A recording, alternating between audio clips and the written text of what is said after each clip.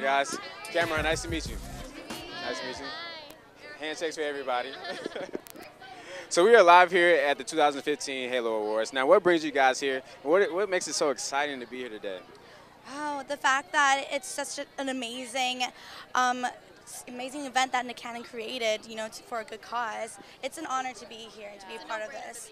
Really, it's a no-brainer. Halo recognizes kids that are doing incredible things, and I think it, it's so important that we really celebrate and um, bring attention to them and how great thing kids uh, things that kids around the world are doing. So, what are you guys most excited to see today at the show? Is it Flo Rida, or who, who, who might it be? Who knows? Tori Kelly! What's your favorite song by her? Ain't Nobody Love. Wow. Nobody, nobody, nobody Love.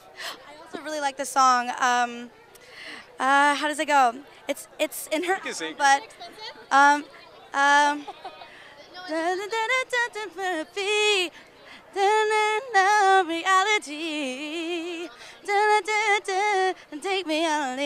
Leave in or out. This is what I'm about. Cause you're up and down, left, right, da da da da da da day and night. Whether you leave or stay, this is me any anyway. I got it. Anyway. Wow, I love your voice.